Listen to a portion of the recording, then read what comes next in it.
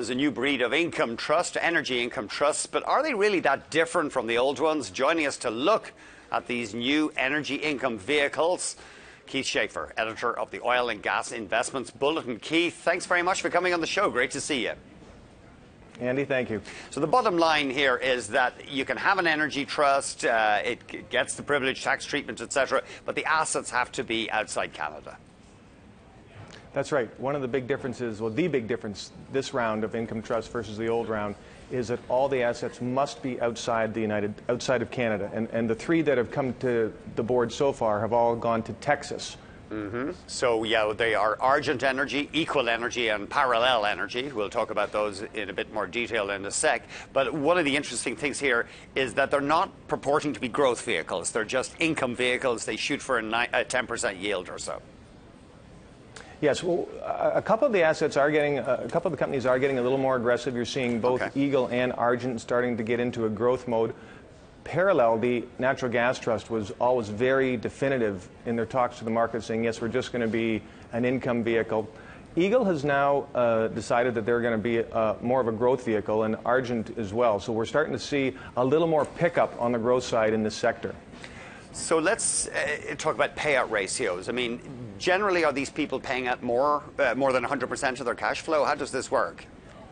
Right now, they are. So it, one of the big things that happened in the last go-round of the income trust cycle was that there was a huge appetite for dividends and distribution. So these companies would pay out a lot more than their cash flow and rely on the equity markets to fill that cash flow gap.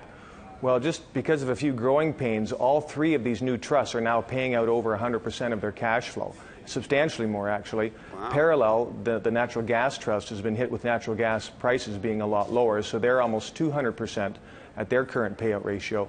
And that's, that's the full payout ratio, including the distributions and their drilling costs.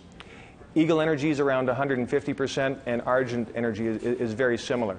The plan here is that these, the, the two oil based ones, Eagle Energy and Argent, are going to grow into their cash flow, and, and they have the land base to do that. But right now, everybody is paying out over 100%. What do you think? I mean, is there, uh, how stable is that for investors? Well, I, I, think investors need to look at a couple things. One is remember that these are junior companies. Mm. They're all producing under 10,000 barrels a day, and so they're, they're going to be a little more volatile.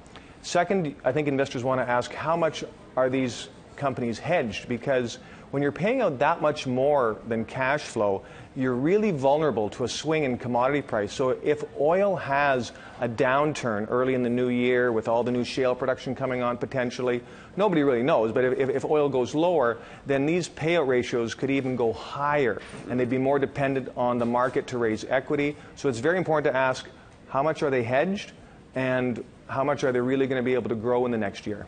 The one you like best right now is Eagle Energy. Tell us a bit about that one. Well, Richard Clark and his team here had some growing pains initially, uh, right after they went public. They had to take over operatorship of their assets, and, and that kind of put them back a couple quarters, but they've really done a great job in managing these assets, growing production. They've increased production probably 800% since they took over the Salt Flat field in Texas. And so their cash flow is now picking up. They're still a couple quarters behind, but they've shown that they're really good operators. They've shown that the asset is good. And in their new Midland play in Texas, they're also growing production quite well. I'd like to see them be a little more hedged, but that'll happen as they increase their drilling.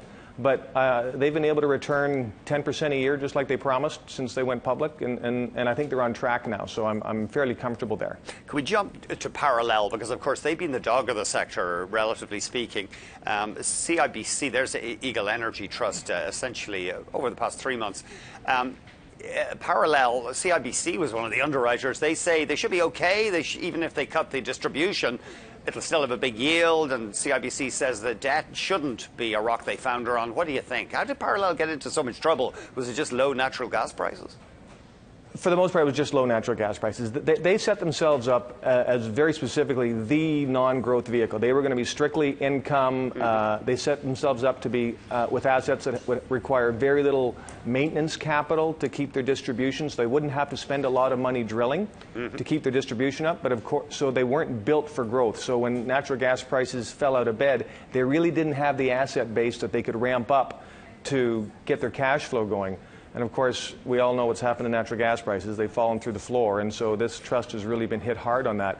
Uh, I, I, think the debt is an issue. They probably are going to uh, have to cut their distribution. Mm-hmm. But I, I, think the Canadian banks who basically fund these companies have been very good at working with the producers to make sure they don't get into any real trouble. So I, I don't see any asset sales on the horizon just because the relationship between the Canadian banks and the companies are quite good. But it's just something that I would rather be sitting on the sidelines right now waiting to see what happens before jumping in. Okay, and just for disclosure, you do own some uh, Eagle Energy units or shares, but you, you, don't, um, you don't own Argent or Parallel at this stage. Correct. Well, Keith, it's always great talking to you, and I hope you come back soon. Andy, thanks so much for having me. Our guest has been Keith Schaefer, editor of the Oil and Gas Investments Bulletin.